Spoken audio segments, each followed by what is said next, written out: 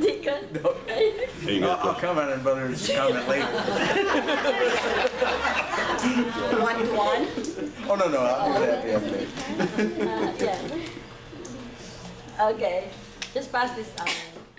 Whoever was in, is interested. Because there's a question in there, in, um, in this, um, test.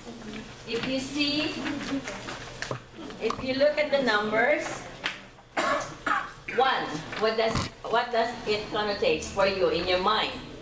Solitary, lonely, B is erect, proud, C is slim or tight.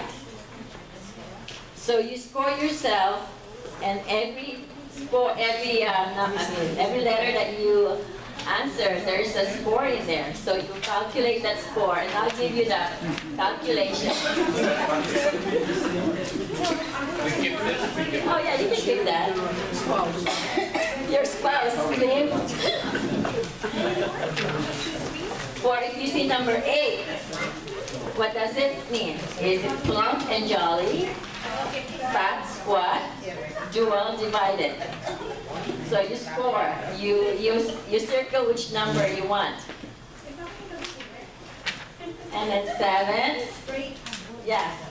So you, you score and it will give you a score, and I'll give you the, Are we supposed to do it now? Or no, you can take it home. take it on, okay. Take it home. And the answers are here. Plum, jolly, fat, You can pass it that. And we'll, we'll pass the answers so, because there's a score. Okay, well, thank you and hope that, you know, we'll be more emotionally intelligent. Again, there's, there's a lot, there's a variety of readings on it.